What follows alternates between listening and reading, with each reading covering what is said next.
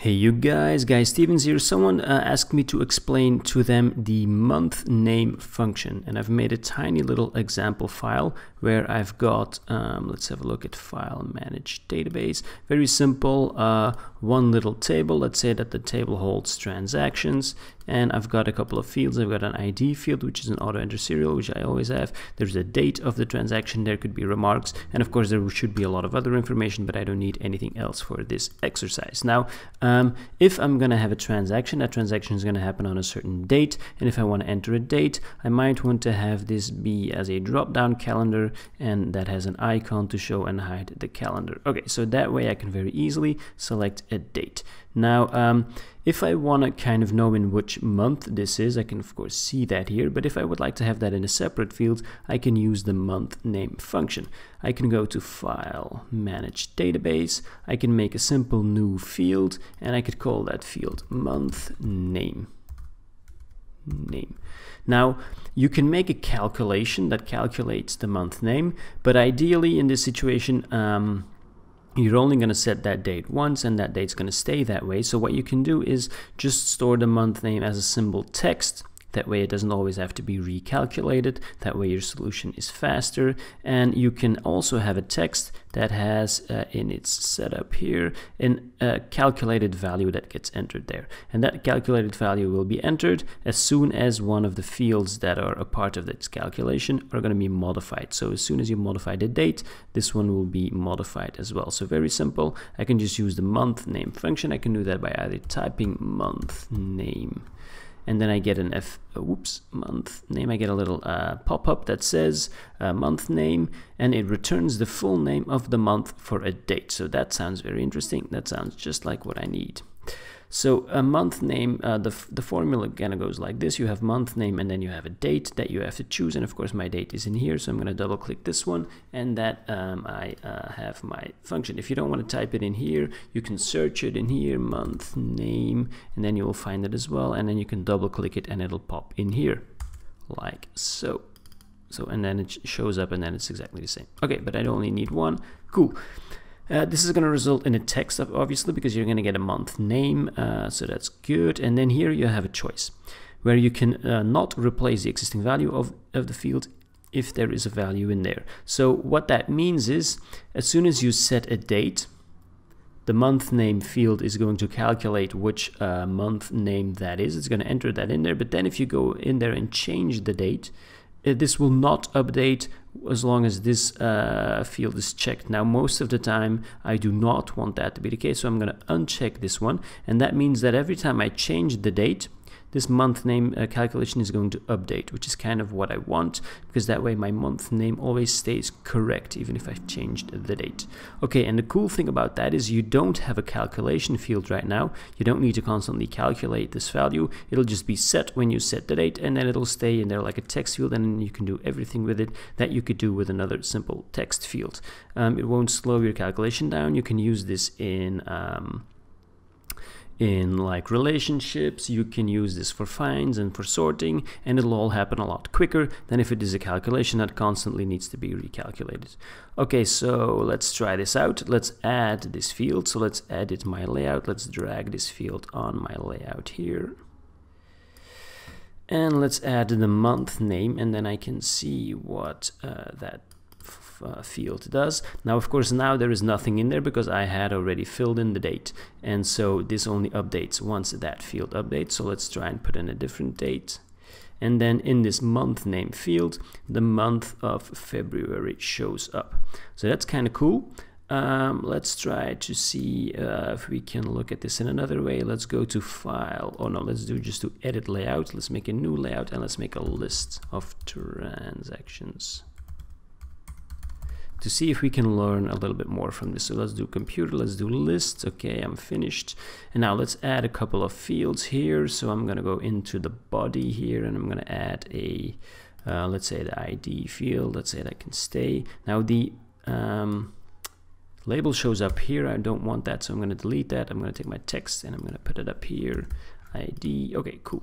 So I've got my ID field, I've got my, this one can be a bit more narrow like so. Okay, cool, now I can start to use my Alt to drag and copy these fields and then I can just modify them and I could say date okay I want a date here I'm gonna modify this label I'm gonna make this a little bit wider and again I'm gonna um, well, I'll first copy it maybe and then I can adjust this one to become a drop-down calendar and include a icon, an icon, and then I'm gonna say yeah, remarks, sure, why not? Um, remarks, not that I'm really using that one right now, but that way it's in there, and then I'm gonna copy this one again, and then I will uh, say that I would like to have for this one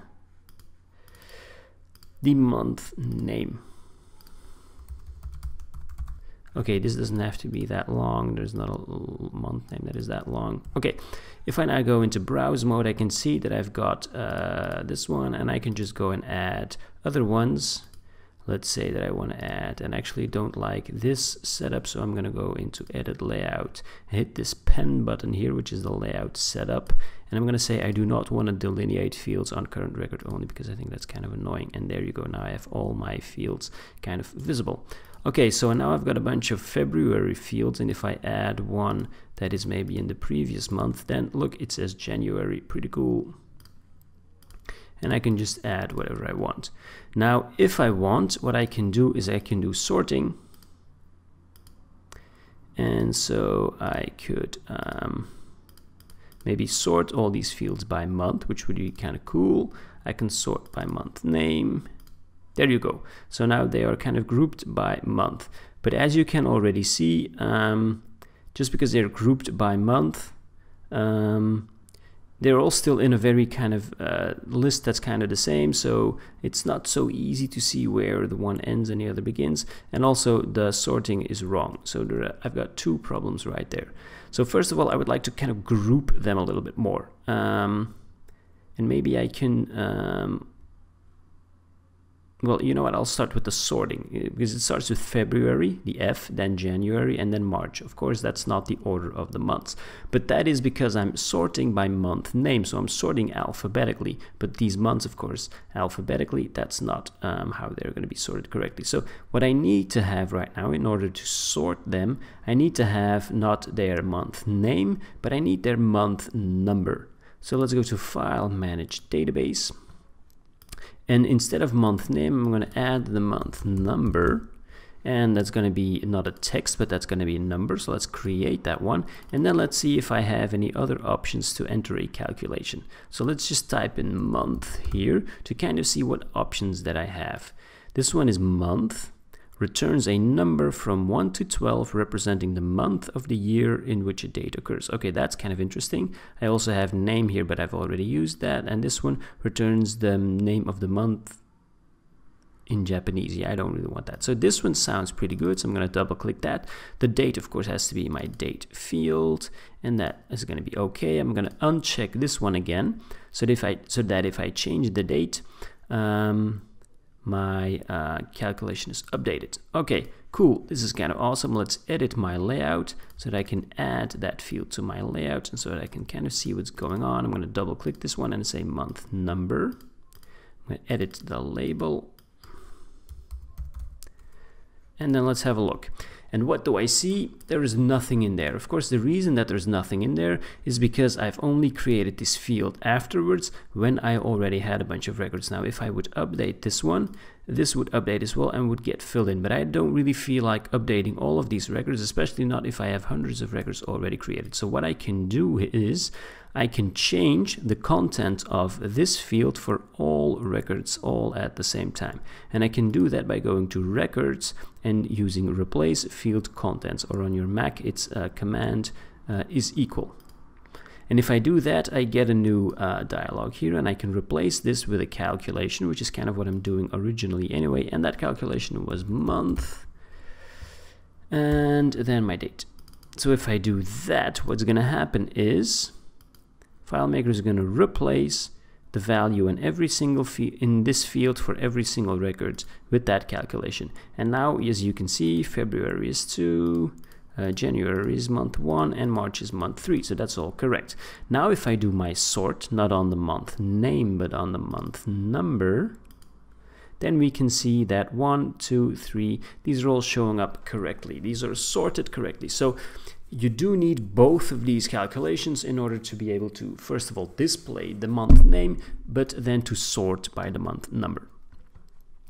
Okay, so now how can we take this one step further? Because yes, they're sorted now, but it still doesn't look that, um, it's not such a, a, good overview. We can take this a step further by kind of grouping them together a little bit more.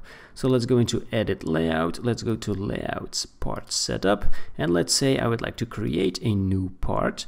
And this new part is gonna be a sub summary when sorted by and uh, it's going to sort by the month number obviously because that's um, the only way to sort them correctly. So I'm going to hit OK and I would like to print this part above. Uh, you could also print it below but if I put it above then I get the month name first and then I get the months that are in that uh, or the records that are in that month.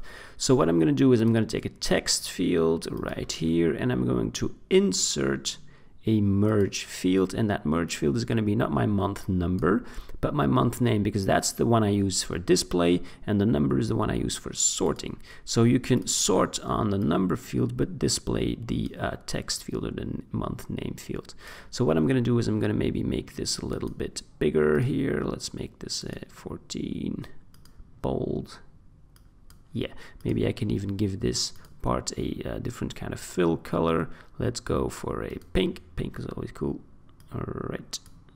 Okay, so now if I exit my layout, what I can see is it automatically shows up correctly because I was already sorting by um, the month number. But if I would sort, for instance, by month name, then nothing would show up because the important thing about a sub summary um, field, and you can kind of see that here when you go to part setup, it says that this is a, whoops, if you create one, it says a sub summary when sorted by that field. So you always, the sub summary part is always uh, dependent on the sort that you have going on. So if I sort by month number, then the part shows up. If I don't sort, like if I unsort, then that part uh, goes away. So a sub-summary part is always dependent on the sort order. So let's sort by month number, and then you can see January, and these are all the transactions from January, February, and March, and so forth. So now basically you don't need these fields in here anymore because, well, there it's kind of obvious which month this is. So I can kind of get rid of these two and that way you can get your transactions uh, sorted per um, month. Now, if you would like to know exactly how many transactions you have had per month, what you could do is just manage database and just add a little field, which is like a summary count ID. And what we're going to do is we're going to create a summary field, and that summary field is going to count the ID field. It's counting the ID field because the ID field is always going to have a value in it. Because if you're going to count like a field like the remarks field that might not have a value in it, then that's not going to count. So we're always going to count the ID field because you know your count is correct. And because that is a summary field, what we can do is we can place it in the sub summary part. And then we can just simply say amount and then let's have a look. It says 2, which is correct. This one says 3, which is correct. And this one says 2, which is correct. So this summary field is also again dependent on the sort and if you put it in a sub-summary field it's going to count the amount of records that are in that kind of sorted group so this way you can kind of use um, kind of subtotals or counts if you want um, uh, in these sub-summary parts. So if we would go and add maybe a amount field, let's say that that's going to be a number and we create that one, then what we can also do, well, let's, let's do this one step at a time. Let's first add the amount field here in the body. Uh, let's not create a label and actually let's put this, let's not, let's call this count uh, let's put this a bit further, otherwise it's going to get a little messy. Amount, because remember these were transactions, so what if we just put a little amount in here? Uh, two, two, okay, eight, and two.